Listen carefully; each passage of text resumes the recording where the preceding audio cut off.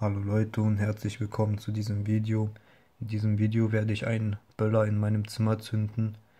Das könnte eventuell gefährlich werden, aber da ich nicht so viele Sachen aus Holz in meinem Zimmer habe, obwohl meine Tür, mein Schrank, mein Schreibtisch. Ähm, okay, ist doch gefährlich, macht es zu Hause nicht nach.